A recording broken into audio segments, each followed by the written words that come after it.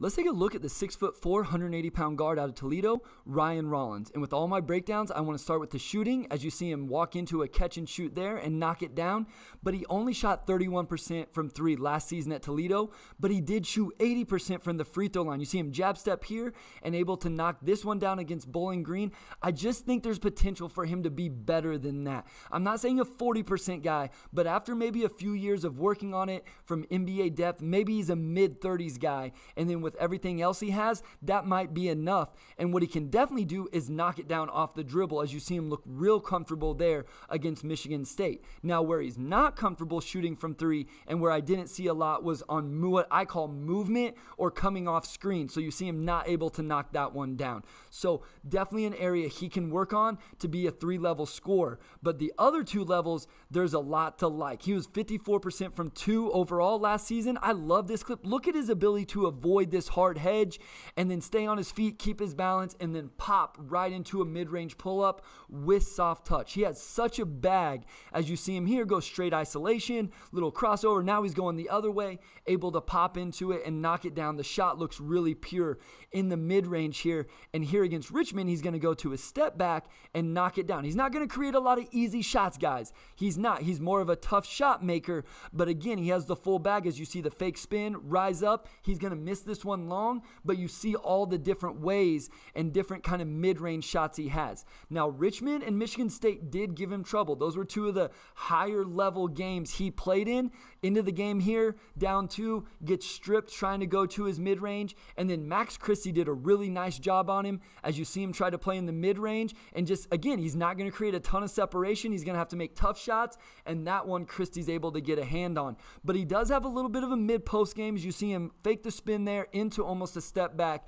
And again, just the bag is full in terms of the mid range.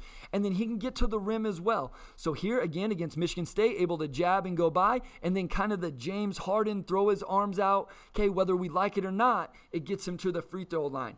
So he has the ability to go by and get to the rim as well, just to rip through and go here. And again, I talk about tough shots off one foot, kind of off balance, but the body control is really good as he knocks it down.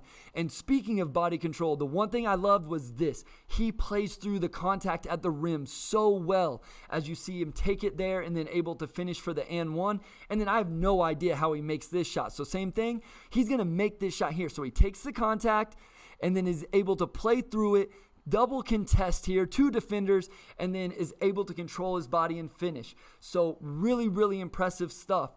Now, again, there's always stuff to work on here against Richmond. He's still going to get into the lane, but playing through the of teams like Richmond and he struggles a little bit with his left hand. I think that's something he can definitely work on and then we're going to see it again against Michigan State. So he's able to go by, but then playing through their length gets blocked, not able to finish. So is that going to be a big issue for him at the next level? And then I think off-ball cutting is something that I only saw a little bit, would like to see more. So here he knows the defender's overplaying the pin down, goes back door, but you're going to see not a real big vertical pop guy. So you see he kind of hesitates and then ends up getting blocked. But here you see they love running DHO stuff for him. So he sets it up, nice cut.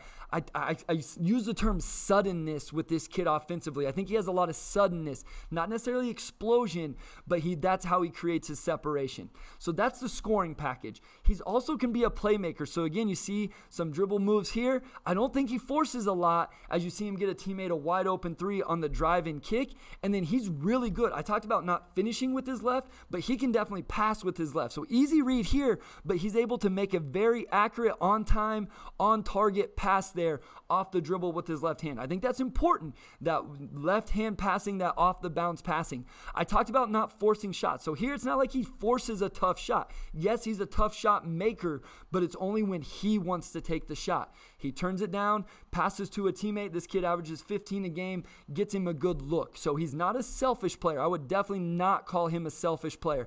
And then just a good passer makes a beautiful read here, even though his teammate's not able to knock it down, but makes a beautiful pass. See him go get a defensive rebound on this possession. Would like to see more of this. I'll talk about it in just a second, but gets it in transition. And then just a beautiful read of the defense and then an on time, on target pass from Ryan Rollins.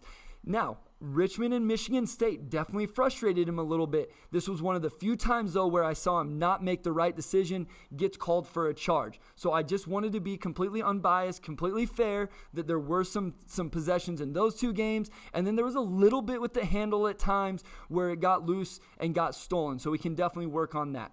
So that's the complete offensive package. Now the defensive end. Let's start with the positive. So this is one of the best possessions I could show early in the season against Coastal Carolina. You see him get up on the ball.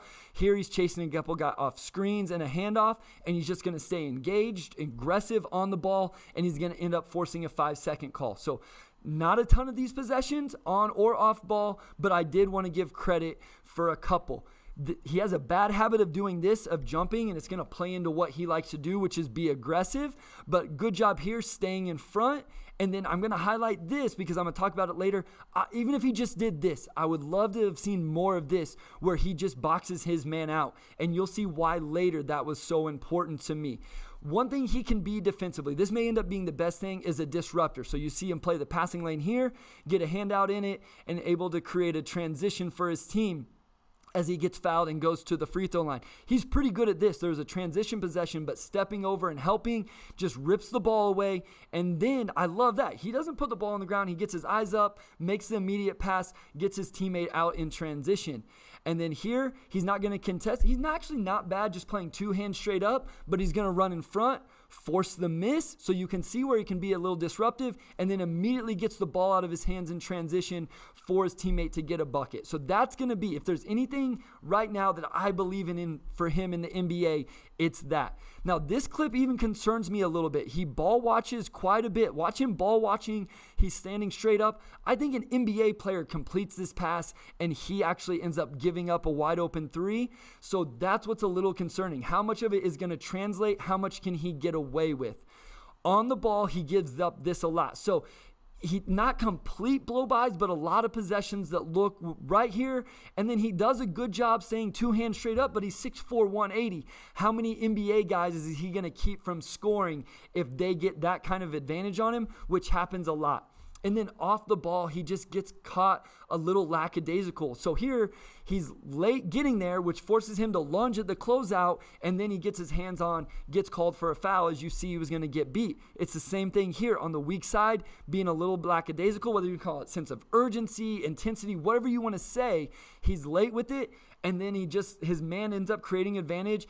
Luckily, his teammate takes a charge, but like that's not going to get it done at the next level. And then off the ball here, he's got to tag the roll guy and he's just ball watching. There's way too much film of him standing straight up like this, especially on the weak side, gives up a wide open layup there because he doesn't tag the roll guy. Even this one, you're going to see him reach, so that's what kind of his go to again, I would like to see a sense of urgency. This is Max Christie. Like you should be sprinting here to the closeout, even if you're not gonna get it. And he just didn't seem to have that in a lot of the film I watched. So it maybe it's a mentality thing that can adjust when he gets to the league. I just definitely want to see it and then the rebounding. So this clip is, you know, I would like uh, even at six four, I'd like to see him grab some more rebounds. Maybe you can blame the air ball on this one, but here, like get in there and you got to help your team out. This is one where he can get involved and he can help on that rebound and there's just too many clips where he doesn't. But even if he's not going to be a plus rebounder or neutral, he can't be a negative. And there were a lot of clips, guys, where this happens. I talked about earlier, just check out your man. Here, completely loses sight of his man, no sense of urgency to box him out. And I do have some worries that while he's a bucket on the offensive end and can create buckets, how many is he going to give up on the defensive end?